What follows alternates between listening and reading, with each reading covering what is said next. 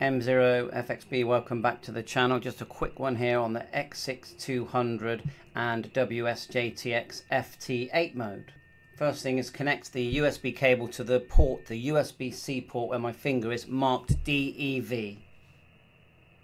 Plug the other end into your PC. Now right click your Windows squares. Right click, go to Device Manager and in this section select ports. Double click ports. And you've got USB enhanced serial A C342 39 and 47 are my numbers A and B. You use the B one for FT8 so it's 47 click it right click it. Go to properties and I've done this on both. Go to ports so just OK that once you've set the 19200, click OK, close that window. Now when, once you've opened WSJTX, which you can download from here, I'll put the link in the description. Just go here and then scroll down and I downloaded the, the Win64 package and just run it and then it opened up with this window here and it did ask for my settings so all I did was go to File, top left, Settings. And you've got some tabs here at the top. So one of them says General. You get your call sign in and your grid number. So you go IO81 is mine. MI. Click OK. Go back to that. File, Settings don't think I changed anything else. Then radio, so that's the next tab across, which is radio. I selected the X6100 and COM47 and 19200 here. And then cat, I didn't do anything else. And then when I tested cat, it went green. There you go, it's gone green now. And you could even test the PTT. There you go. And you can see that the Xiegu is going into PTT. Audio wise, you go to the next tab across, audio, and I've selected microphone 3 USB audio device and speaker USB audio device. And that seems to have worked fine. Then if you look at my input signal here, it's about 60 to 70. It's in the green. To adjust that, I right click my Windows speaker, go to sound settings, and I get this window and all I did was move these sliders on speaker and on microphone until it's in the green basically. And you can you know you can play with these as you test it. So then we've got our tune button here just here. On the right hand side it says the word tune. You can press click that for testing. It does go into transmit as you can see click that and you're trying to get your AG, AGC quite low. Sorry, I meant ALC. Now what I do, I don't really use FT8 that much, to be honest. I just put it into Enable TX here, and I just sit back and watch it go, and hope that I start to get some contacts. If you right click on this sort of grid that's falling down, if you right click and look for a gap, you can right click and go set TX RX offset.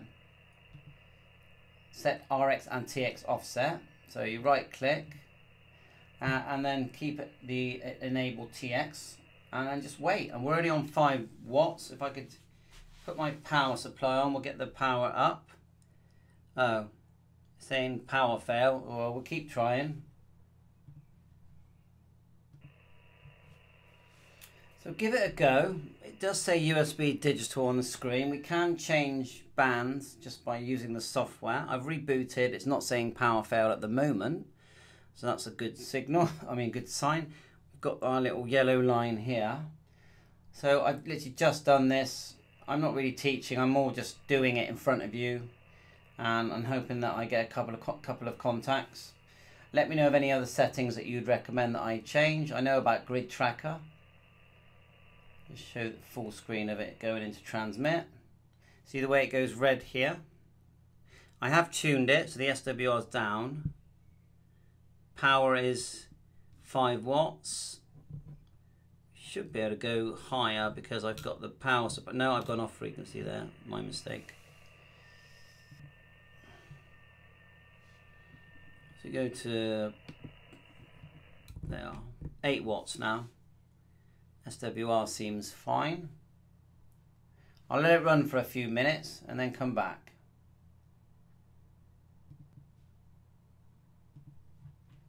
And you can click some of these stations as well. Got another one here that's transmitting M0 ELS. Look. Let's double click that. See if it makes contact. So we've double clicked it, it's put it in the right hand list. And it will now sort of automatically try and contact that station. The thing I would like to know is how to how to measure the ALC. I can see it's showing SWR. Power S. That'll be handy.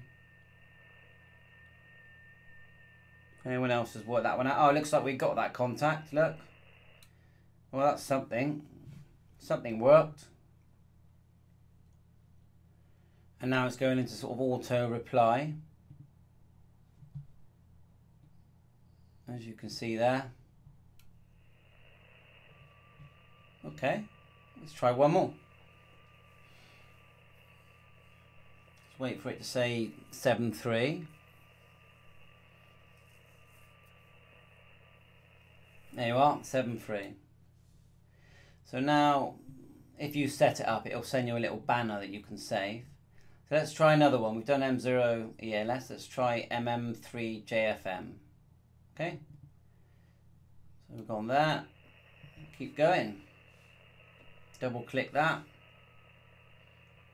Something must be right because it worked. Not very far, but and you can see the sort of stations that are coming in on my grid here.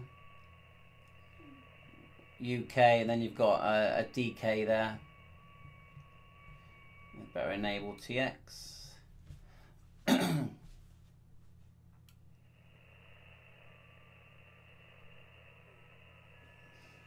give it a go. Down, I, I need to download Grid Track. I haven't used it for ages.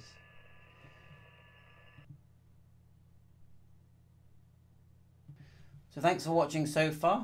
Um, I'll show you my settings one last time. Settings on the general M0FXB in my location. Radio is the COM, the radio 19200, audio are the two USB audio device. I haven't done anything else. I know I know there's lots you can do with this. And um, yeah, it looks like um, no contact with oh isn't that funny? We've got M0 ELS again. Let's not sure why that's gone through again. But anyway it did. Thanks for watching my YouTube channel. Bye for now